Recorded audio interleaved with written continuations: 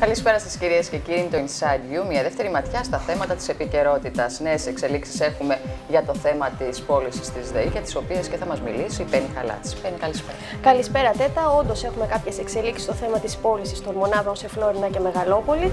Να πούμε ότι στις 26 Ιουνίου συνεδριάζει η έκτακτη Γενική Συνέλευση για να δώσει το πράσινο φως ε, για τις προσαπόσχηση μονάδες.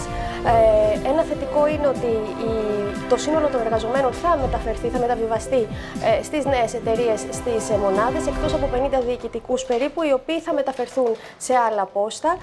Ε, βέβαια, το αρνητικό της υπόθεσης είναι ότι αυτή τη στιγμή και μετά από την ε, δημοσίευση των αρνητικών, θα λέγαμε, αποτελεσμάτων, οικονομικών αποτελεσμάτων, κα, καθότι είδαμε πτώση της κερδοφορίας επιχείρησης, υπάρχει ένα μπαράζ επιθέσεων τόσο από την αντιπολίτευση όσο και από πλευρά, από μερίδα του τύπου.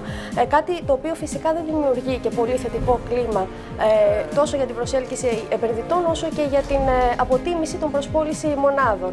Ε, παράδειγμα, ενδεικτικά να πούμε ότι η Νέα Δημοκρατία κάνει λόγο για μοιραία πτώση της μετοχής. Όντως η μετοχή κατέγραψε πτώση.